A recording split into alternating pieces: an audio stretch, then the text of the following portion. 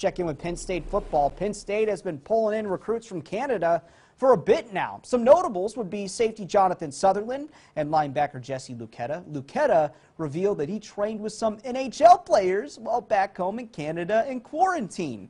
He worked out with his teammate Sutherland as well. Now, they've had to get creative to get back into the country and get back to Penn State. I finally came back to Ottawa and I was able to work out with my trainer and uh, Claude Giroux, Ben Hutton, a couple of NHL guys. So we got some good work just to make sure I was keeping, you know, physically prepared. And I was, as far as like uh, mentally, I was making sure to stay sharp with my film and everything. Travel is still banned and everything. So as far as myself and Jonathan, we had our paperwork to get back in the country, but the question was if we'd be able to cross um, if somebody drove us. So I had to have one of my coaches drive us to the border. He dropped us off there, and then uh, we had a representative from Penn State come and pick us up.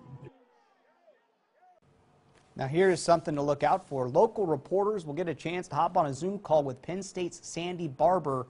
Her job title is Vice President of Intercollegiate Athletics. She handles the athletic director duties. Now, we're hoping to get updates on Penn State's football chances tomorrow, fans in the stands, economic impact, and more. Now, that call is at 1.30 in the afternoon tomorrow, and we will keep you updated online and on air. That's it for now. We'll see you later.